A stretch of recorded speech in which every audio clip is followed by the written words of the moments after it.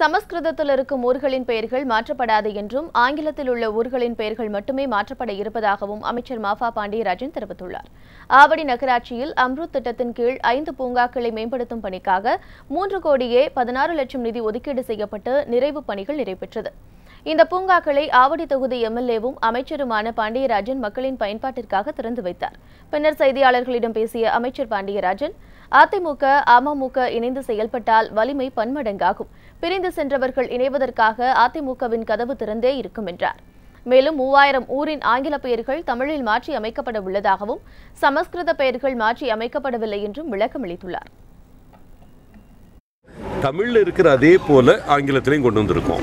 அதான் வந்து வித்தியாசம். இதுக்கு மேலே நாங்கள் வந்து க கண்டுபிடி பேரை மாற்ற போகிறதில்ல சில பேருக்கு ஸ்ரீபெரும்புதூருக்கு பேர் மாற்றுறீங்களா அப்படின்னு கேட்டாங்க. அதெல்லாம் கிடையாது. சமஸ்கிருத பெயர்கள் அதனால் சமஸ்கிருதம் என்பதால் மாற்றப்படாது.